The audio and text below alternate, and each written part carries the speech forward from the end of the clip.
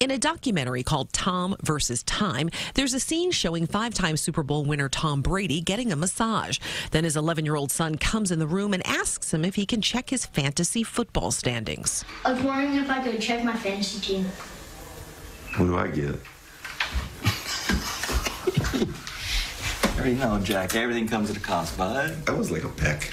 The second kiss shared by father and son prompted tweets from viewers using words like very disturbing and uncomfortably long. So we asked New Yorkers what they thought. I'm a little uncomfortable with that.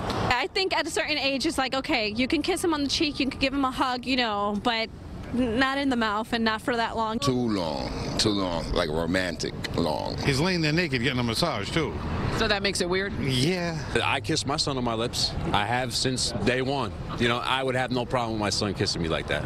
Lifestyle and parenting expert Liz Stern says she doesn't see anything wrong. If you kiss your kids too much, it's the wrong thing. If you kiss your kids too little, it's the wrong thing. If you hug too much, it's the wrong thing. Or, you know, I think people need to back off and just stop parent shaming. Of the people we spoke to, no one questioned Tom Brady's intentions toward his child, but they did seem to question the message he's sending with his actions. I don't think affection should ever be tied in with a favor. Carolyn Meyer Wartels is a licensed clinical social worker and parenting expert. She says when it comes to physical touch, the message we send our children should be clear. You don't do anything with your body because someone else is insisting that you do it in order for you to get what you want. Even if the person insisting is mom or dad.